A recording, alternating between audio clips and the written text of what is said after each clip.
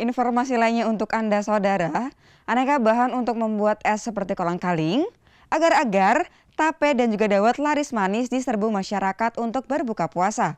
Pedagang pun membuat paket hemat dengan harga terjangkau yakni Rp3.000. Berburu aneka bahan membuat es sudah menjadi tradisi setiap menjelang buka puasa. Selama bulan Ramadan, pasar tradisional di kota Semarang selalu ramai dikunjungi pembeli untuk mencari bahan es yang akan disajikan saat berbuka puasa. Seperti di Pasar Peterongan Kota Semarang misalnya, agar tidak memberatkan pembeli, pedagang bahan es sengaja membuat paket hemat serba Rp3.000. Selain kolang kaling, bahan es yang paling banyak dicari adalah cincau dan kerap disebut jangkelan atau irengan.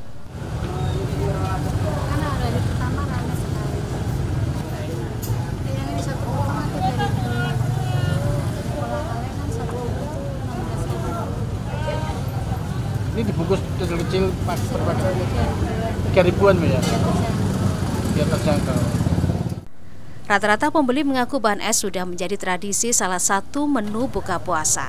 Tanpa minum es saat berbuka puasa serasa kurang lengkap. Nanti sore untuk buka puasa pak. Ya. Untuk harganya gimana bu? Harganya ya berapa sih? Banyaknya warga yang berburu bahan es untuk berbuka puasa membuat banyak pedagang beralih berjualan bahan buka puasa karena dagangannya selalu laris selama Ramadan. Senat Puji, Kompas TV, Semarang, Jawa Tengah.